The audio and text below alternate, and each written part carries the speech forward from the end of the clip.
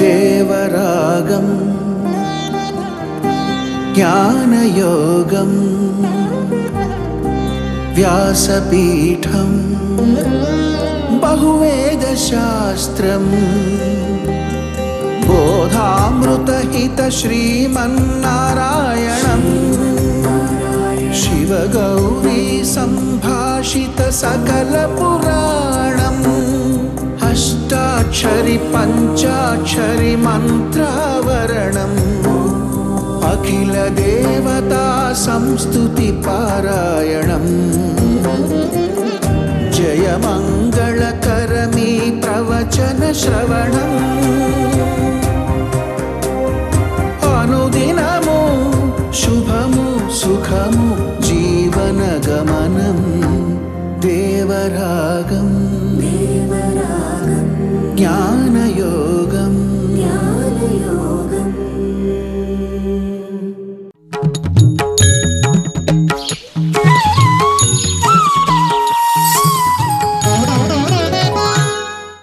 आपदामपहर्तारं दातारं सर्वसम्पदां लोकाभिरामं श्रीरामं भूयो भूयो नमाम्यहम्। जय श्रीमनारायण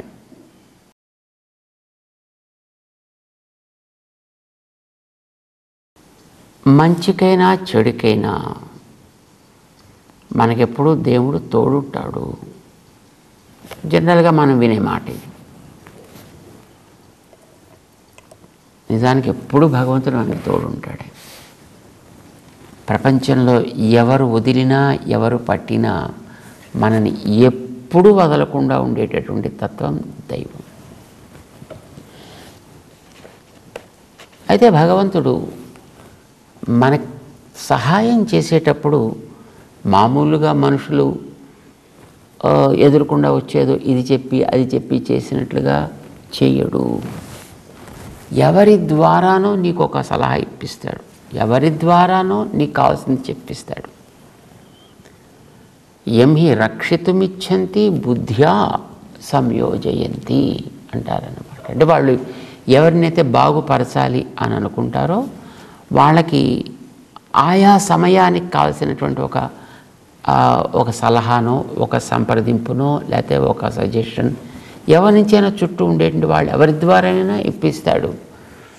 అయితే అది పొందినప్పుడు మనం దానిని భగవంతుడు ఇచ్చిన సలహా అని గుర్తించాలే తప్ప ఆ ఇచ్చినటువంటి వ్యక్తిని పట్టుకొని మన అబ్బా వీడే నాకు దైవం వీడే నాకు దేవుడు అని ఇంకా వీడినే పట్టుకొని మనం పాకులాడడం అనేటటువంటిది సరైన పద్ధతి కాదు. అది అనుకూలానికైనా ప్రతికూలానికైనా ఇదే నియమం అన్నమాట. సాధారణంగా అనుకూలమైందైతే మనం తలుచుకోవాలనుకుంటాం. మనకి ప్రతికూలమైందైతే అయితే దాన్ని వదిలేయాలి అని అనుకుంటాం.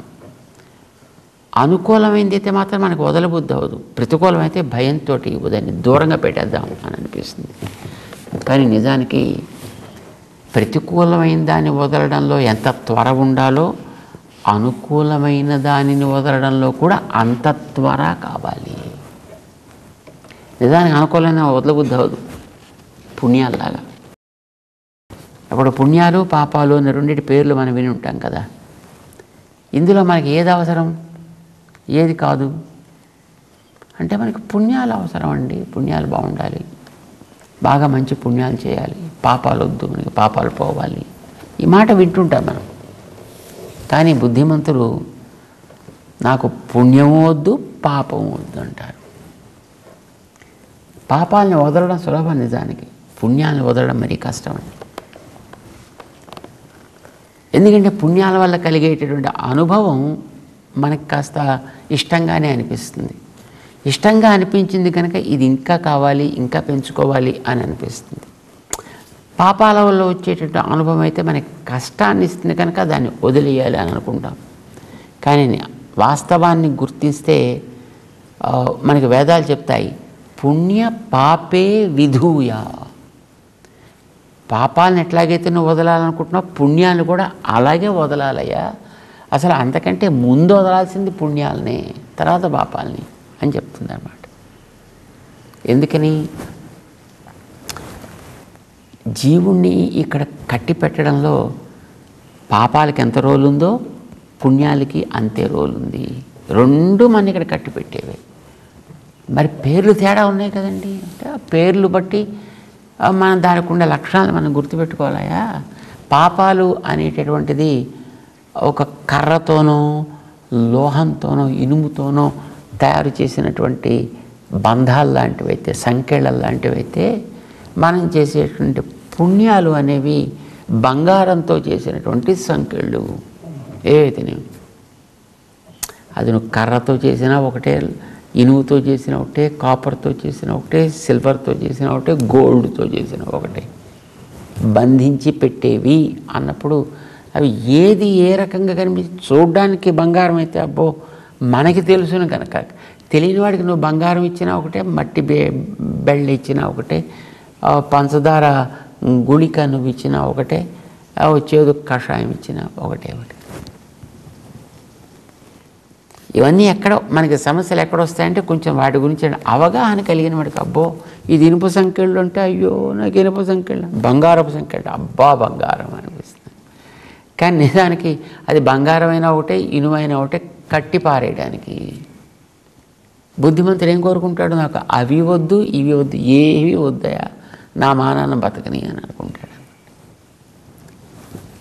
ఇదే మనకి వేదం కూడా చెప్తుందండి మనకి బాబు పుణ్యాలు అనేటటువంటివి నిజానికి మొట్టమొదట వదలాల్సినవయా ఎందుకంటే ఈ వదల బుద్ధి అవుతుంది ఇది అనుకూలంగా ఉంటాయి కదా.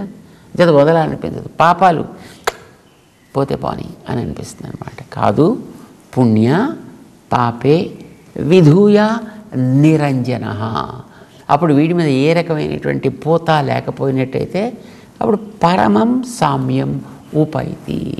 భగవంతుడితోటి సమాన ఆకృతిని ఈ జీవుడు పొంది తీరును. ఇది మనకి చెప్తాను రెండు పోవడం ఎట్లాగైతే అవసరమో అట్లాగే హర్ష ద్వేషాలు కూడా.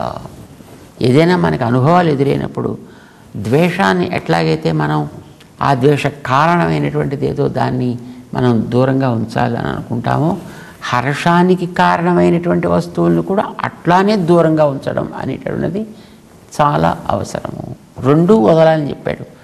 భగవద్గీత ఐదవ అధ్యాయంలో ఇరవయవ శ్లోకంలో నా ప్రహృష్యేత్ ప్రియం ప్రాప్య.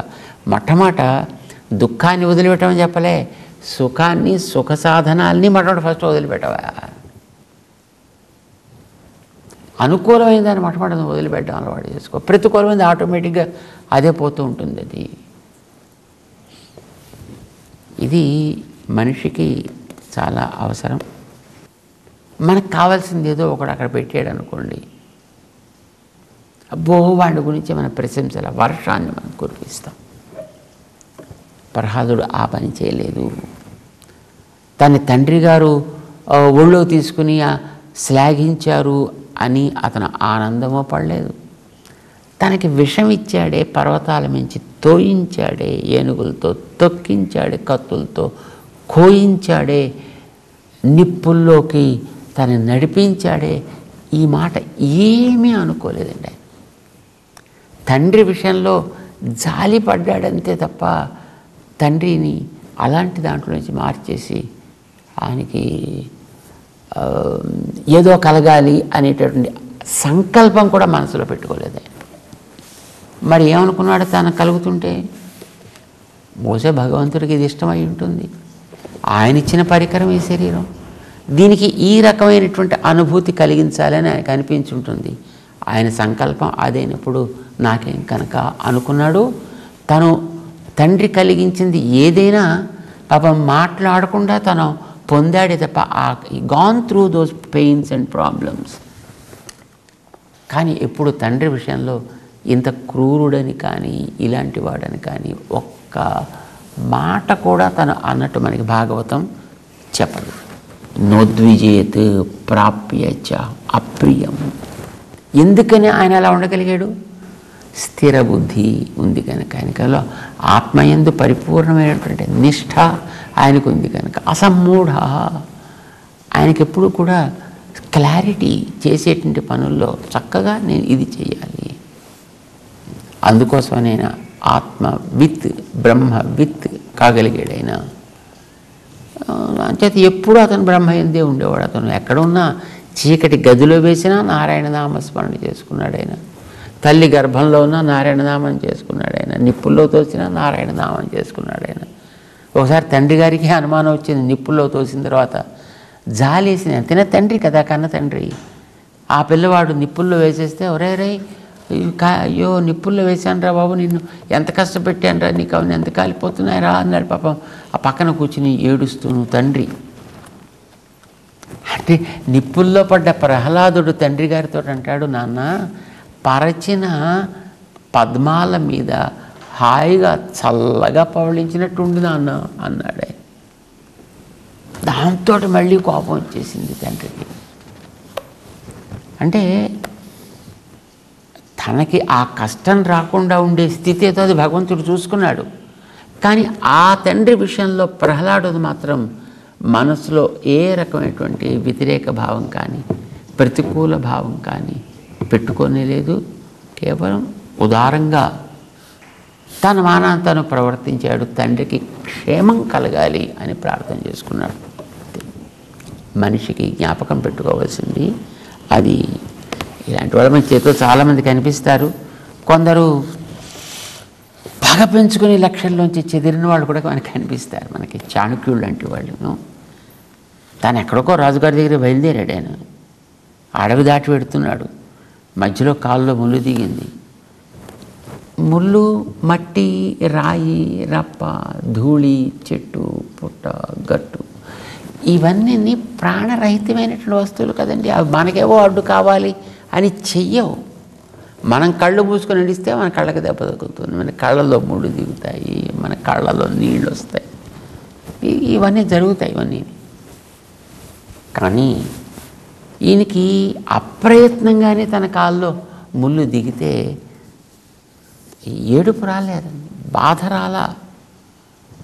కానీ మనస్సుకి మాత్రం భలే అద్భుతమైనటువంటి కోపం వచ్చేసింది నన్ను గుచ్చుకుంటావు నువ్వు?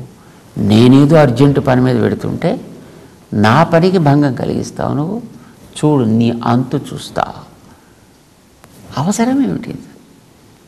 దాన్ని పీకి పక్కన పారితే తన మానం తన పోతే హాయిగా ఉండేవాడు. కానీ అలా వెళ్ళాలి అని అనిపించలేదు తనకి. దాని అంతు చూడాల దానికి ప్రాణమే లేదా అసలు ముళ్ళుకి. కానీ కోపం బుద్ధి నాశం ఏర్పడుతుంది అని కదా చెప్పింది మనకి చివరికి భగవద్గీత. దానివల్ల ప్రాణస్యతి అవుతాడు వాడు. ఇతనికి చాణక్యుడికి కలిగినటువంటి కోపం ఆ లోపల ఉండే ముళ్ళుని పైకి లాగి దాన్ని శుభ్రంగా బామ్మగారు చెకోడీలు ఎలాగైతే పౌడర్ చేస్తారో అట్లాగా మొత్తం ఆ ముళ్ళుని కాస్త ప- కాల్చి పౌడర్ చేసేసి శుభ్రంగా నీళ్ళల్లో కలిపేసి నాకు ఇంత కష్టం కలిగిస్తావా తాగేశాడంతే మొత్తం. ఇదంతా టైం వేస్ట్ యాక్టివిటీ ఇదంతా బుద్ధి లేని పని కదండి ఇది దాన్ని తీసి పక్కన పారిస్తే తన మానం తను పోతే సరిపోయాయి. దాని మీద కోపం పెట్టుకుని ఏమిటి సాధించేది? రాయి తగులుతుంది కాలికి రాయి మీద కోపం పెట్టుకుని నాకు తగులుతావు నా దారిలో నువ్వు అడ్డొస్తావు నీకేం బుద్ధి జ్ఞానం లేదు నేను ఎంతవాడినో తెలియదు నాకు కష్టం. బుద్ధిమంతుడు వాటిల్లో జోక్యం చేసుకోడు. అవి తనకే అనుభవానికి వస్తున్నాయి. కష్టానుభవమో సుఖానుభవమో హర్షమో ఉద్వేగము. ఏదో ఒకటి కలిగిస్తూనే ఉంటాయి. కానీ నా ప్రహృష్యేత్ నా ఉద్విజేత్. అనుకూలమైతే వాడు పొంగడు కాకపోతే కుంగడు. రెండూ లేకుండా తన లక్ష్యం వైపే తను దూసుకుపోతూ ఉంటాడు తప్ప మరొక రకంగా ఉండడు. అలా ఉన్నప్పుడే వాడికి ఆ స్థిరమైన బుద్ధి నిలకడగా ఉంటుంది. ఇది కృష్ణుడు మనకి ఐదవ అధ్యాయపు ఇరవయో శ్లోకంలో అది ఇది మొదటి పైమెట్టు. ఇలా ఉండాలి అని చెప్పాడనమాట న ప్రహృష్యేత్ ప్రియం ప్రాప్య నోద్విజేత్ ప్రాప్య చ ప్రియం స్థిరబుద్ధిరసమ్మూఢ బ్రహ్మవిత్ బ్రహ్మణి స్థిత. అది ఒకటైపోయింది. దాని తర్వాత మీకు ఇరవై ఒకటవ శ్లోకంలో చెప్తున్నాడే. బాహ్యస్పర్శేషు అసక్తాత్మా విందతి ఆత్మని యత్సుఖం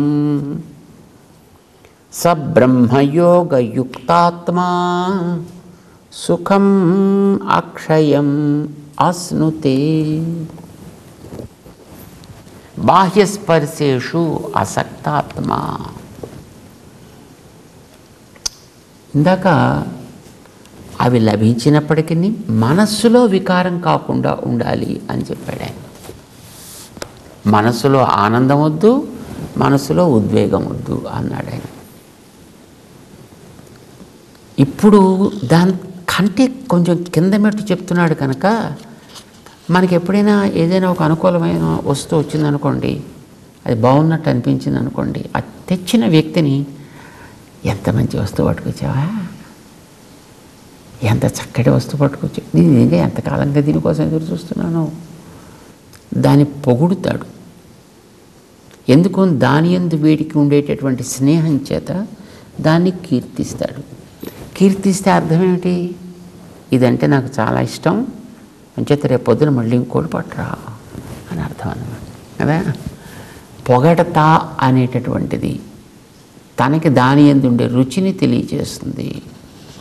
రుచి ఉండాల్సింది లక్ష్యం మీద. కానీ మధ్యలో వచ్చిన దాని ఎందు వీడికి ఉండేటువంటి రుచి ప్రభావం చేత అప్పుడు దీన్ని వాడు పొగుడుతాడు. వాడు పొగడలేదనుకోండి ఓకే. సాధారణంగా ఏమనిపిస్తుంది? అదేమిటండి తెస్తే కనీసం దాన్ని తీసేసుకుని థ్యాంక్స్ అనే చెప్పకుండాను. ఎందుకు థ్యాంక్స్ చెప్పాలి? అంటే మళ్ళీ రేపు పొద్దున వాడు నీకోసం తీసుకొచ్చి ఇవ్వాలి కదా. అందుకు థ్యాంక్స్ చెప్తే వాడిని పొగిడితే రేపు పొద్దున వాడు పట్టుకొచ్చేస్తాడు. మరి పొగడకపోతే వాడిని గుర్తించకపోతే వాడిని అసలు రికగ్నైజే చేయించకపోతే మళ్ళీ వాడు తీసుకొచ్చి ఇవ్వడేమో? సంబంధం చెడిపోతుందేమో? అంటే నీకు దీని ఎందు పట్టింపు ఉంది కనుక ఇది చెడటానికి వీల్లేదు. దీని మీద ఎప్పుడైతే పట్టింపు ఉందో నువ్వు చేరాల్సినటువంటి ఆత్మ అనే లక్ష్యంలోంచి నువ్వు వెనక్కి వచ్చావు అని అర్థం. క్రమంగా క్రమంగా అది నేను మళ్ళీ వెనక్కి తీసుకెళ్ళిపోతుంది అది. అందుకోసమే చెప్తాడు ఇది బాహ్యస్పర్శేషు అసక్తాత్మ బాహ్యస్పర్శలు కలుగుతూ ఉంటాయి. కానీ వాటి ఎందు అసక్తాత్మ మనస్సు దాని ఎందు పడనివ్వకు. విందతి ఆత్మని యత్సుఖం. మనస్సులో వీడికి మాత్రం దాని ఎందు ఒక సుఖం కలుగుతోంది అనుకూలంగా వాడికి స్పందన కలుగుతోంది. శరీరంలో ఉంటాయి. మనసు దాకా వెళ్ళనివ్వకు. శరీరానికి వచ్చింది శరీరం దాకా మాత్రమే పరిమితం చెయ్యి. కానీ మన మనసు దాకా ఎందుకు వెళ్ళనిస్తాం? మళ్ళీ వాటిని పెంచుకోవాలనే కోరికతోటి. వాటిని లేదు మనకి ఇష్టం లేనిది వచ్చిందనుకోండి ఇంకా దాన్ని తిట్టి అది కేకలేసి వాడికి భయంకరమైనటువంటి ఓ రాక్షస రూపం చూపించి మళ్ళీ కనిపించావా కబడతార్ ఇంకొకసారి మళ్ళీ అది మళ్ళీ కనిపించడానికి వీల్లేదు అనే భావం వీళ్ళలో కలిగి అది వాళ్ళలో కలగాలని భావించి వీడు ప్రాణంగా ఉగ్ర రూపాన్ని ధరిస్తాడు నరసింహ రూపాన్ని ధరించేస్తాడు అవతల వాడి మీద. వాడికి భయం కలిగిపోయేటట్టుగా. అది కూడా తప్పే. అది కూడా అవసరం లేదు సుమా. చలి కలుగుతోంది మంచు కురుస్తోంది ఒంటి మీద పడుతోంది. అయినా వాడికి దాన్ని పట్టించుకునేటువంటి అవకాశం ఉండదు. విందతి ఆత్మని యత్సుఖం ఎవడైతే దాన్ని లభిస్తాడో పొందుతాడో ఆ రకమైనటువంటి సమస్థితిని అలాంటి వాడు మాత్రమే సబ్రహ్మ యోగ యుక్త ఆత్మ. యుక్త ఆత్మ సరి అయినటువంటి దాని ఎందు కూడిన మనస్సు లక్ష్యమునందు కూడిన మనస్సు. ఏ లక్ష్యం మీద? బ్రహ్మయోగ. ఆత్మని పొందుట అనేటటువంటి దాని ఎందు వీడికి లక్ష్యము కుదిరిన వాడయ్యాడు. అలాంటి వాడికి మాత్రమే సుఖం అక్షయం అశ్నుతే అశ్నుతే అనుభవించును. ఇందాక విందతి పొందాడు చేతికి. ఇప్పుడు చేతికి పొందింది వీడికి మనస్సు కూడా అందాలి లోపలికి అందాలి.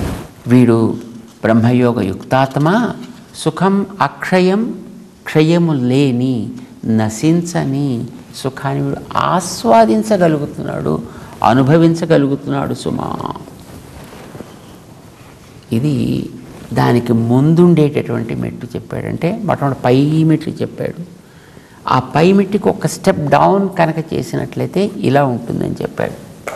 దీన్నే మనకి చెప్తాడు ఇక్కడ.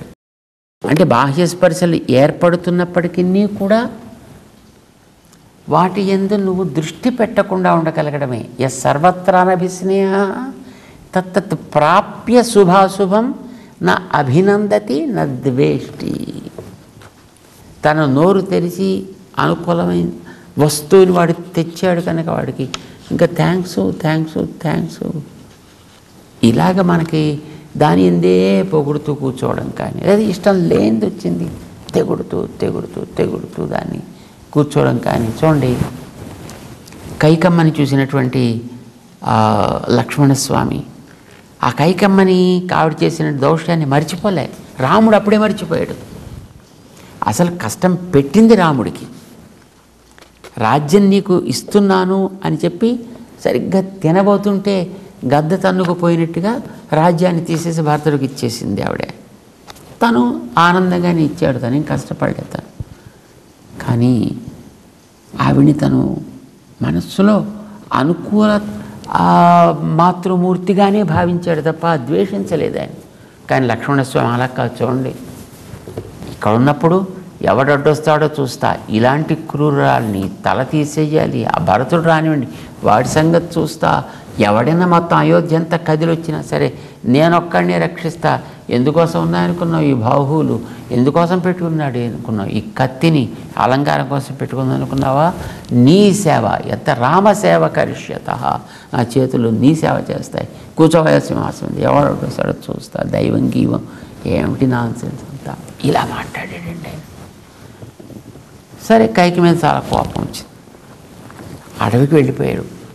సుమారు నెల రోజులు దాటిపోయింది. ఇంకప్పుడు జ్ఞాపకం ఉండాల్సిన అవసరం లేదు కదా. కానీ అప్పటికి కూడా అతను మళ్ళీ కైకమ్మని నిందిస్తూనే ఉన్నాడు. చిత్రకూటం దగ్గర పైకి ఎక్కినప్పుడు భరతుడు తన సైన్యంతో పాటు అక్కడికి వస్తే చూసి పైకెక్కి జెండా గుర్తించి కేదార ధ్వజం దాని మీద కనిపిస్తే అమ్మో ఇంకేముంది భర్తలు వచ్చేస్తున్నాడు సైన్యంతో ఇలా చేస్తాడు అలా చేస్తాడు అని అవన్ కోప పెట్టుకున్నాడు. తర్వాత సీతాపహరణమైపోయిన తర్వాత రామచంద్రుని పంచవటిలో తను ఆ, సీతాన్వేషణ కోసం తీసుకువెడుతున్నప్పుడు స్నానానికి బయలుదేరి వెళ్ళాడు ఆయన. స్నానానికి. స్నానానికి వెడుతుంటే పాపం అది శీతాకాలం ధనుర్మాసం కాలం అయి ఉంటుంది. చల్లగా ఉంటుంది సహజంగానే. నీళ్ళు కూడా కొంచెం చల్లగా ఉంటాయి. తెల్ల తెల్లవారు గట్టిన రాముడు ముందు పెడుతున్నాడు లక్ష్మణుడు వెనక నడుస్తున్నాడు. అన్న పాపం భరతుడు ఎంత కష్టపడుతున్నాడో కదా. ఇలాంటి శీతకాలంలో కూడా ఇలాంటి చన్నీళ్ళల్లో ఆయన స్నానాలు చేస్తున్నాడు ఆయన పాపం ఎంత కష్ట అవసరం లేని దాన్ని కష్టపడుతున్నాడు. అని కాసేపు భరతుడు ఆయన కష్ట నష్టాలు ఇవన్నీ చెప్పాడు ఆయన. రాముడు వింటున్నాడు ఊ కొడుతున్నాడు. సడన్గా కాస్త మార్చాడు మాటని. అసలు భరతుడికి ఇలాంటి కష్టం కలగడానికి మనం ఇలా ఆడవాళ్ళు పడి తిరగడానికి ఆ కైక కదా కారణం అంటూ ఆవిడ మీద తన అక్కసున్నతటిని వెళ్ళబుచ్చాలి అని అనుకున్నాడు. కనిపెట్టాడు రామచంద్రుడు. నతే అంబా మధ్యమ గర్హితవ్య కదాచన. ఎప్పుడు కూడా నీ తల్లి సదృశ్యమైనటువంటి వ్యక్తిని పల్లెట్టు మాట్లాడడానికి వీళ్ళే జాగ్రత్త. ఇంకా నీకు చెప్పాలనిపిస్తే ఆ భరతుడి గురించి కొన్ని నాలుగు మాటలు చెప్పు. తామేవ భరతస్య కథాంకురు ఇంకా నేను వింటా. అంతే తప్ప ఆవిడని తిడతామేమిటయ్యా ఆవిడ వల్ల కదయ్యా మనకి ఎంత ఉపకారం కలిగి కైక చేసింది తనకు ఉపకారం అనుకున్నాడే తప్ప రామచంద్రుడు ఆవిడ మీద ద్వేషం పెట్టుకోలే. కానీ లక్ష్మణుడు అలా కాదే? దీర్ఘసూత్రి అని అంటాం మనం. ఒకనాడు మనసులో కలిగిన కోపం అట్లా ఏళ్ళ తరబడి సాగుతూనే ఉంటుంది. దానికి ఏదో ఒక రకమైనటువంటి మార్గాంతరం చూసే టెన్త్ వరకు కూడా అట్లానే ఉంటుంది. సో ఎప్పుడైనా వ్యక్తికి సుఖ దుఃఖాలని ఇచ్చేటటువంటి వస్తువులు నిజంగా తనకి ఎదురైనప్పుడు తన దగ్గరికి వచ్చినప్పుడు చేరినప్పుడు కూడా వాటిని వాడు అనుభవిస్తున్నప్పటికీ కూడా వాటి ఎందు మనసుని స్నేహాన్ని పెట్టుకొనే వద్దు. దీన్నే చెప్పాడు ఆయన అసక్త ఆత్మ నీ మనస్సు దాని మీద పడద్దు. శరీరానికి అది తప్పదు. ప్రపంచంలో బతికేటప్పుడు కనుక శరీరంతో అనుభవించేవో అనుభవించాలి కానీ మనస్సులో మాత్రం పొరపాటు కూడా దాన్ని ప్రవేశించనివ్వద్దు మనసు ఆత్మయందే ప్రవర్తించని దాన్నే లోపల నింపుకొని దానికి దాన్ని పనిచేయని ఇలాంటి వ్యక్తి మాత్రమే సబ్రహ్మయోగయుక్తాత్మ బ్రహ్మిత్ బ్రహ్మణి స్థిత. సుఖం అక్షయ్యమశ్నుతే ఇది ఇరవై ఒకటవ శ్లోకంలో దానిపై దాని కొంచెం మీద కింద మెట్టు. ఇలా చెబుతూ క్రమంగా ముందుకు తీసుకెడతాడు తెలుసుకునే ప్రయత్నం చేద్దాం. జయ శ్రీనారాయణ